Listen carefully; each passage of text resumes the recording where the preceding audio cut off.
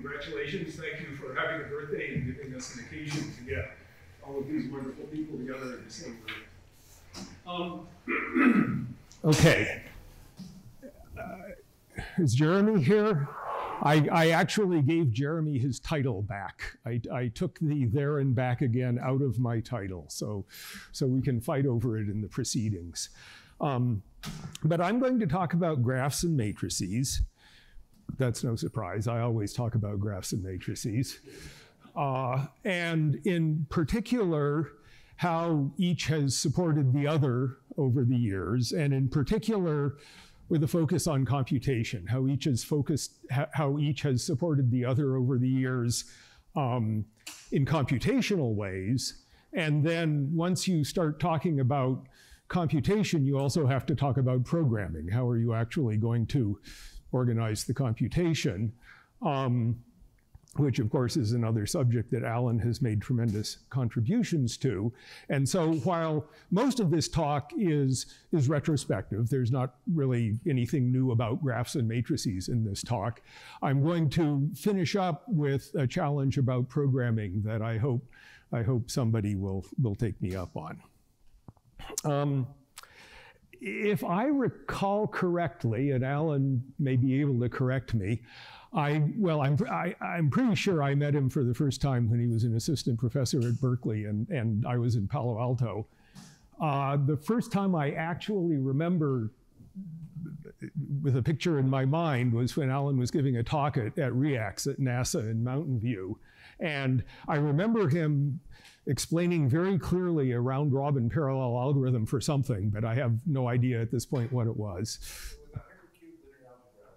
I, that sounds, that sounds exactly right. Okay, Alan remembers better than that. And since then, I couldn't make a list. I just feel like I've, I've, I've always known him. Uh, one other memory from, from those early days, um, I guess Alex told us yesterday about the pithiness of Alan's emails. Um, and I, I very clearly remember one email from 1996 uh, which was, I, I, am absolutely certain, it was the shortest recommendation letter I ever read for anybody, and it was also the most effective. And it was when Sivan Toledo was applying for a postdoc at Xerox PARC. And uh, of course, Sivan got the postdoc.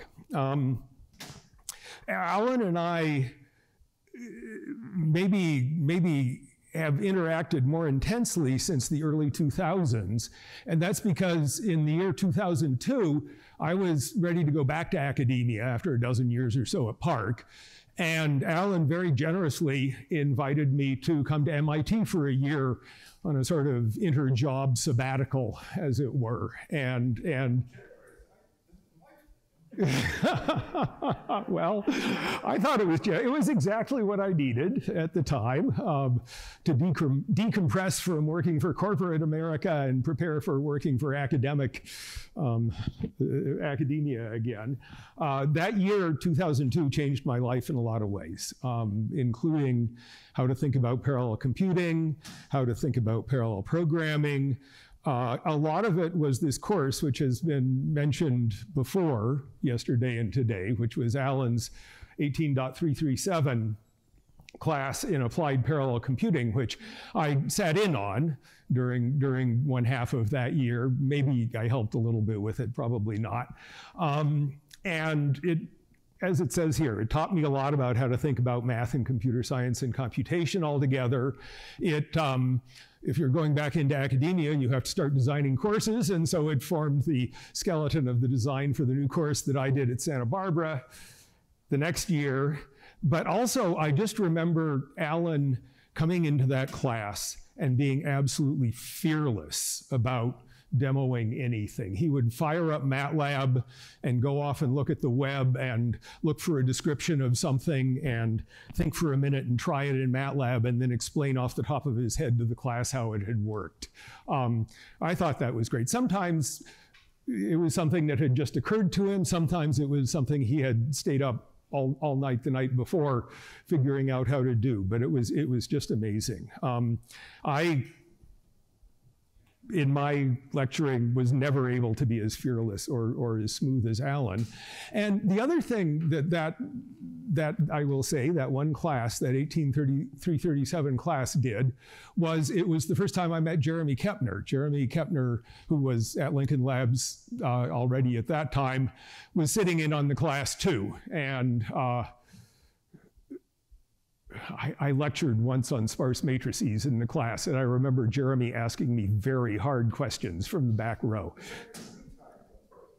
I, I did. I, Alan remembers this better than I do. I, right, that's right. I gave, I think I gave one, one, one week of three lectures on sparse matrices in that class. Um, uh, as a it also turns out that during that during that year, I, I met my wife in New England. So so changed my life in a lot of ways. Um, one of the things that I remember about Alan, that I've always known about, about Alan, that I've always admired about Alan, is the way that he can think across disciplines. And so one of the specific memories that I remember from that from that applied parallel computing class was, um, you know, I knew how fast multi-grid worked. I had explained it to people. I had read papers. I had I had never implemented it. Um, it's this huge cloud of ideas that just come from all different directions, like a, you know, like a video game or something. Um, and Alan gave a gave a lecture in 18337 in which he explained that there's actually a three-dimensional orthogonal basis for, for this algorithm.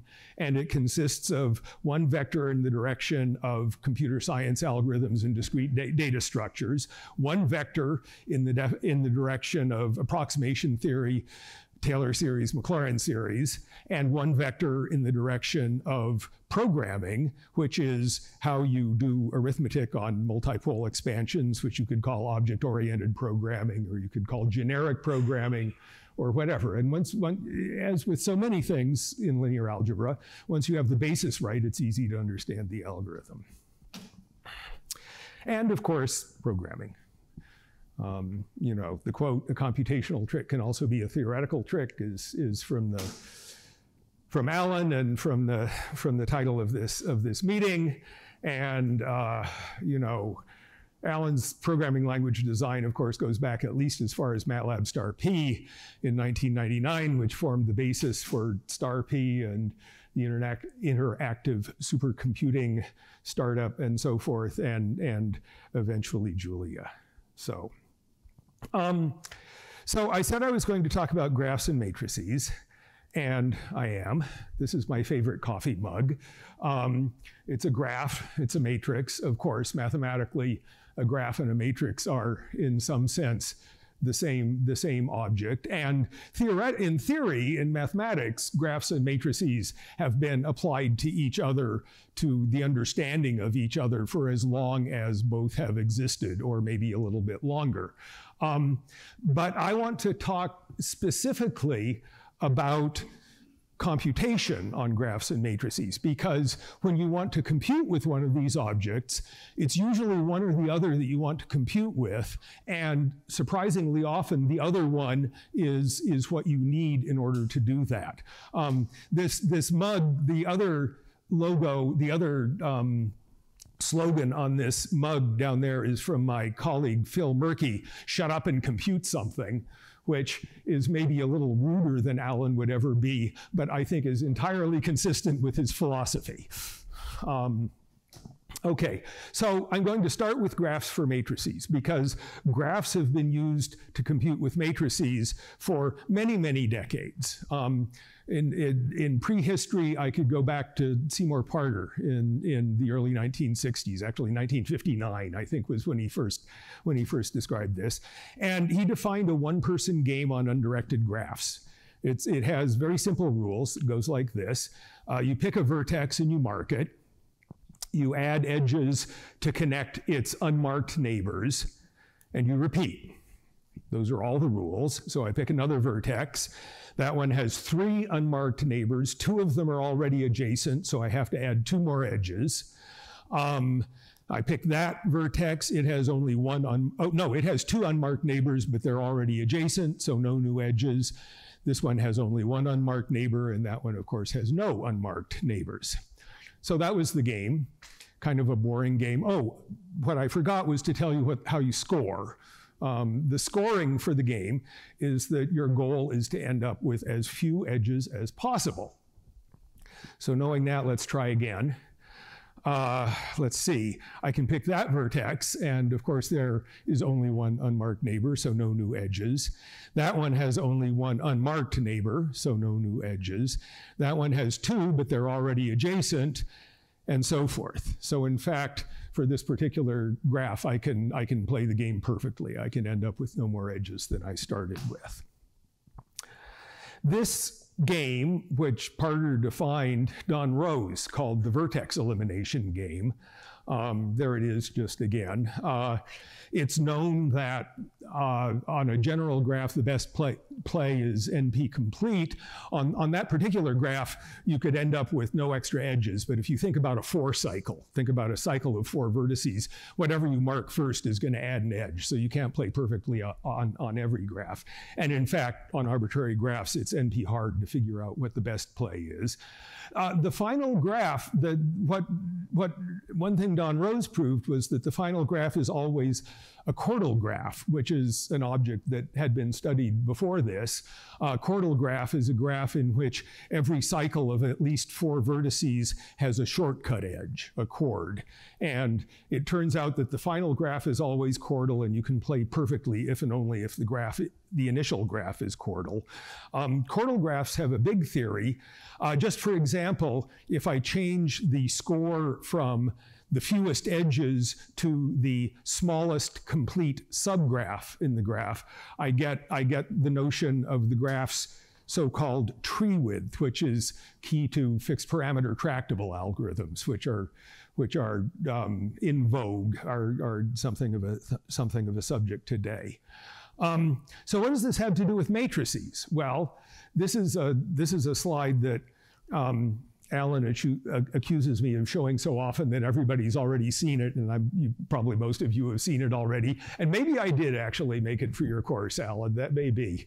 Um, I know the example comes from Joseph Liu, but who knows?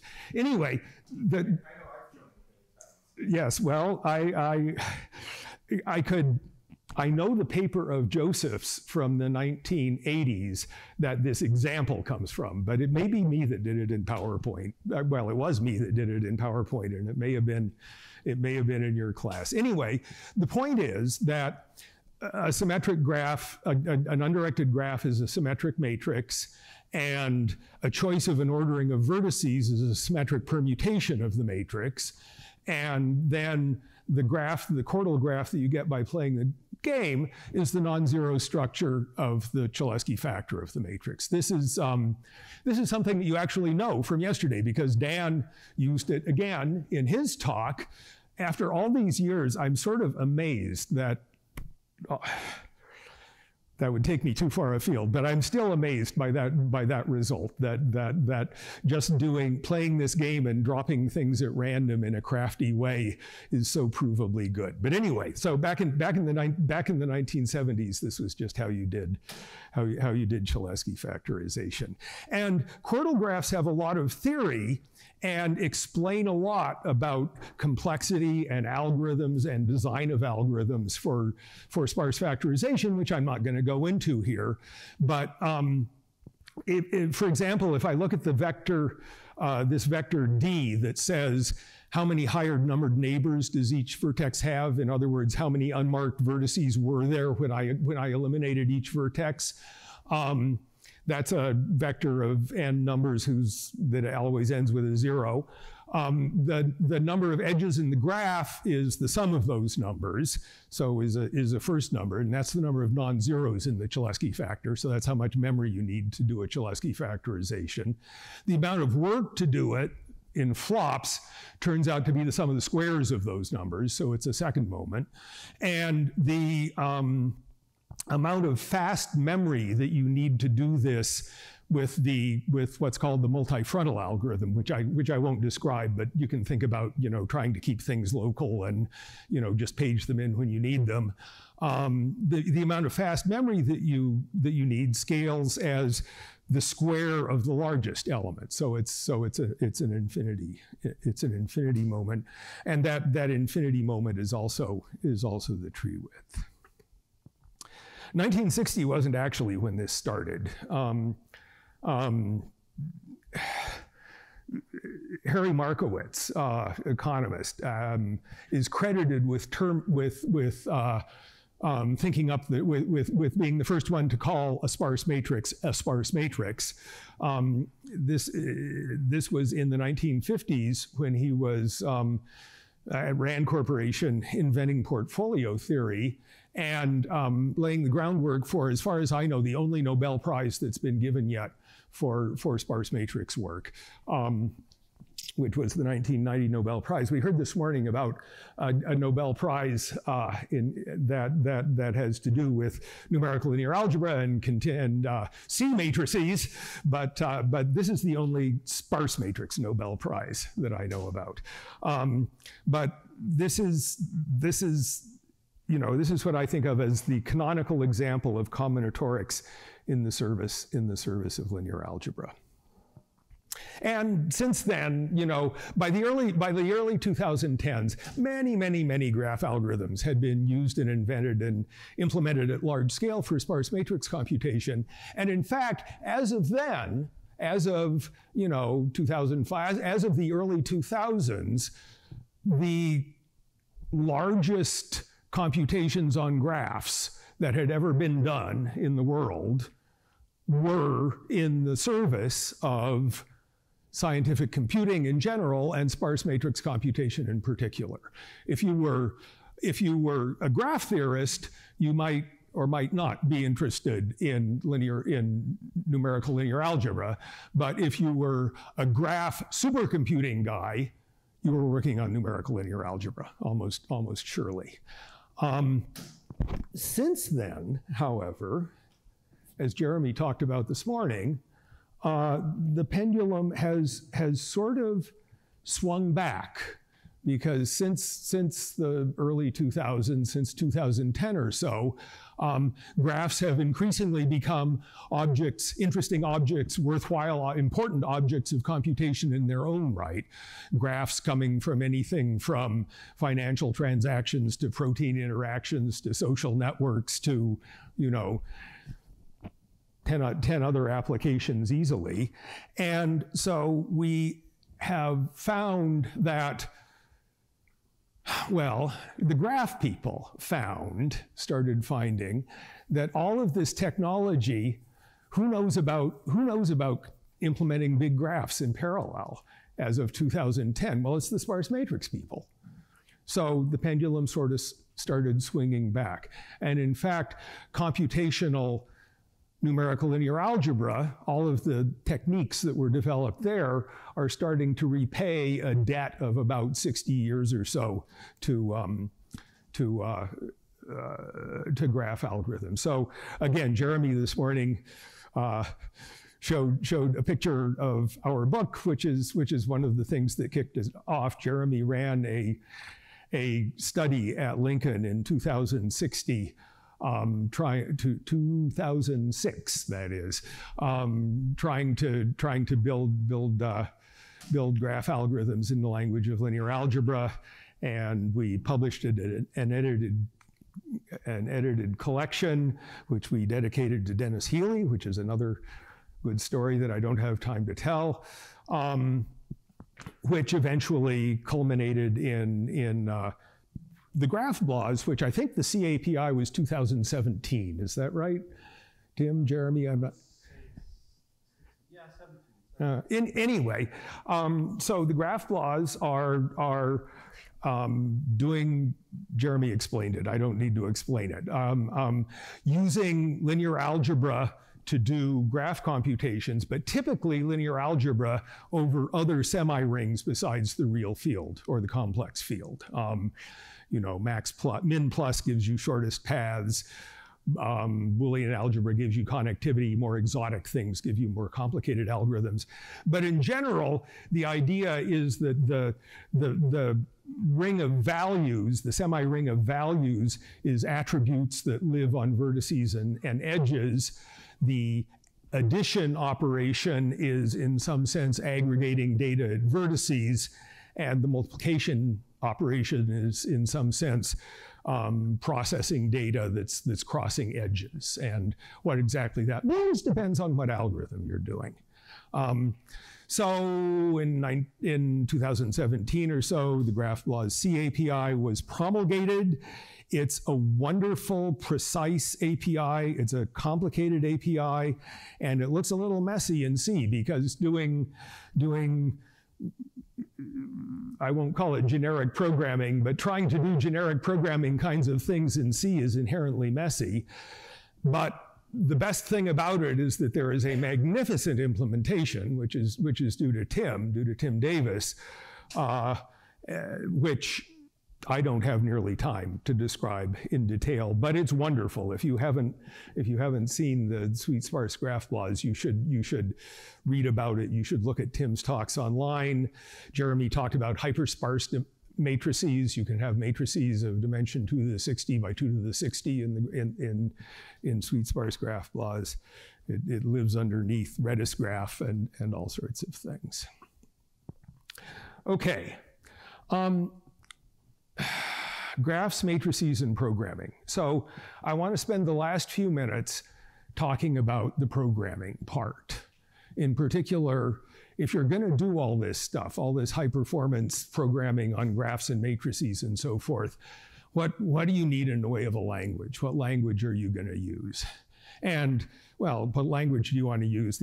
Well, for what? You have to you have to say. And what I mean for what is is three things which are all a little bit different from each other. One is developing algorithms on irregular structures, I'll call them graph and matrix algorithms. One is experimenting with them because you don't know unless you try um, at sort of medium scale, but also maybe at fairly large scale because things change as you scale them.